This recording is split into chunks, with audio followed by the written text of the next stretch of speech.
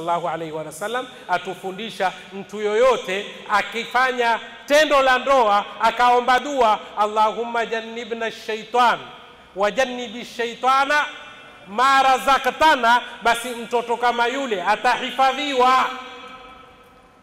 Mwenyezi Mungu tuepushe na shaitani, na kile ulichokituruzuku ukiepushe na shaitani utakuwa umemtendea haki mtoto wako, kwa ajili wakati wewe wataka kumuunda mtoto umemkumbuka Mwenyezi Mungu na ukamwombea dua, na baada ya kumwombea dua, dua kama ile Mwenyezi Mungu Subhanahu wa Ta'ala atakufanyia kabuli. Usikose, usiwe na pupa, usiwe na haraka, omba dua. Ulamayo wametwambia sali rakaataini.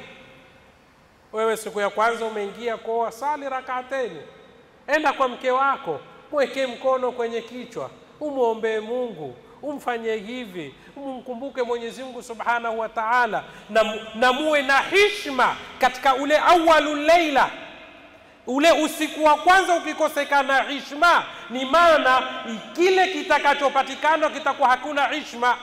Leo maalasaf utaona bwana harusi na bibi harusi wenyewe pangine ndio wamejipamba ile njia mzuri, lakini ndani yake kuna watu hawastahiki kuweko ndani ya ile rumu.